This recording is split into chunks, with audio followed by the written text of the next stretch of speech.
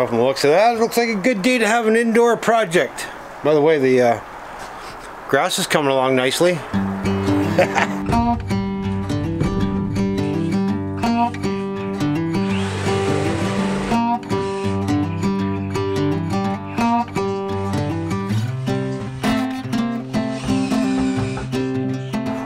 we all look at this mess. Today what we got going on is, obviously I'm not fishing. I'm really doing much anything. We're in the middle of a monsoon here in Ontario. Well, okay, it's not a monsoon. It's it's getting there, but it's not a monsoon. Jenn's been on my case about building a compost pile. Now, as you know, we've been doing a lot of self-sufficient stuff around here. We harvested our own seeds. We're going to plant our own plants. And now she wants a compost pile. So, we are off to Home Hardware Uptown here in Tilbury. And that's what I'm going to make it out of. It's scrap pallets. So I'm going to do this for $0. So you can all do the same thing. $0 and make your own compost pile. Let's head uptown.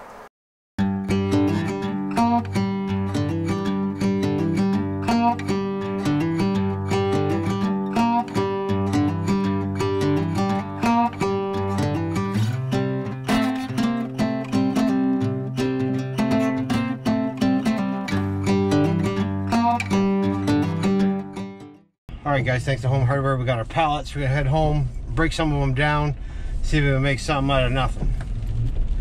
See you in the shop. Get a German Shepherd, they said. Get two, they said. We got a mud pit. And if it was any bigger, you could bring a truck back here and go through it. Anyway, we are back home. We got the skids here. Have a look. They are not in the best shape. They're going to take a little more work than I was hoping. I mean, come on. I'm looking to take the easy way out. I wanted to nail three together and then put a door on the front to keep the dogs out because they'll eat the scraps that you throw in there. Apparently, I got to take some apart and put some back together and how I get roped into this stuff. Anyway, I'm going to show you how to build yourself a compost pile. A compost pile? I'm going to show you how to build yourself a composter for zero dollars. Well, I already had the screws, so they don't count. Alright guys, the tools that you're to need. You, these are a must. Okay, First thing you got to have is a cell phone. Music. Right. Second thing you need is a coffee. You also need screws, which are over on the shelf over there. You're to need a drill. You're to need a hammer. You're also to need a big saw. Last thing that you're going to need is a pry bar, which I'd show you, but I uh, can't find it right now. Anyway, I'll get you moved out of here so I don't knock you over.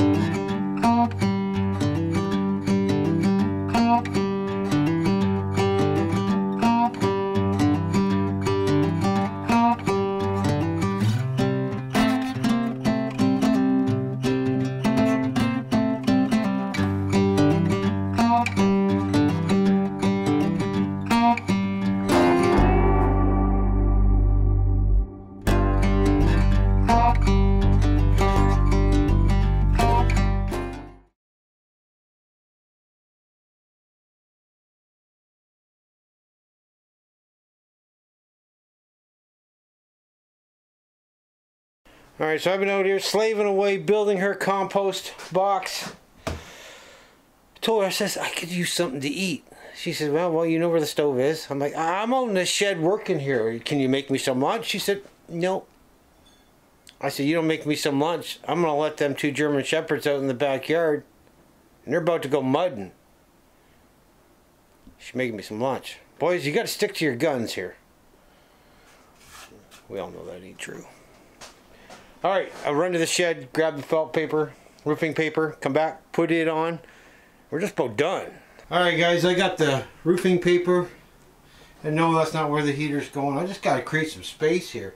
What I did realize is that I got to take some of these boards off of this one here and put them across here. That way my dogs don't get in there and try and eat something. Also across the top here, I'm going to put a separate door. Well, it's going to act like a door. It's going to be on hinges and then we can just open that up put the compost in the pail or throw it right over into the garden and go from there.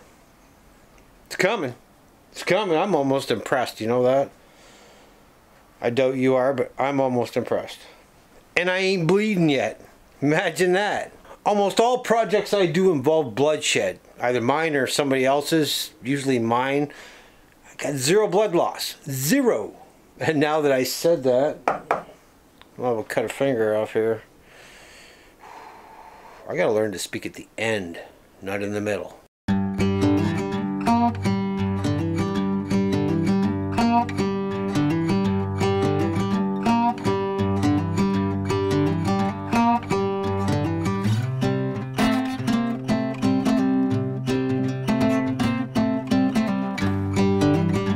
Alright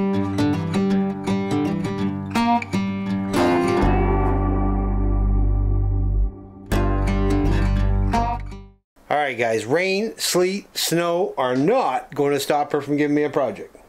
But guess what? We are done. Yes, we got the composting bin done.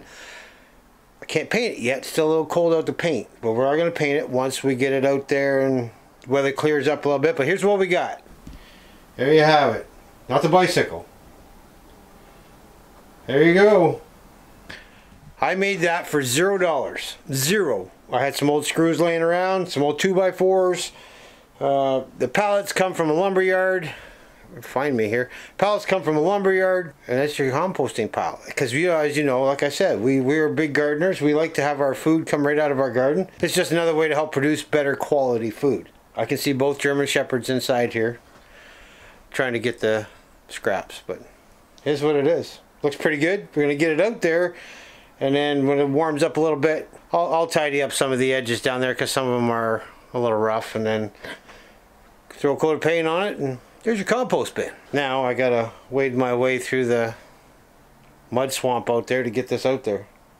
Remember I told you about dinner? Egg salad sandwiches and soup are ready. Just got the message. Apparently she got the message too. Right. Alright let me get this out there. I'm gonna go in and eat and we're gonna call it a day Alright guys, that's all I got for today's video. Hope you all enjoyed it. Hope you all learned something there. Just slapping together some pallets. Get yourself a compost bin. And I didn't want to show you me wading through the mud out there to put it in place. But it's in place. You'll probably see it in future videos. Anyway, that's all I got. Hope you all enjoyed it. Hit the subscribe button if you got something out of that. I'd appreciate it very much. And the like button. Because it all helps. Anyway, I'll see you all in the next one. Later. I need a bigger hammer. I got a bigger hammer. Bigger than that, I can go bigger than that too. That's what she said.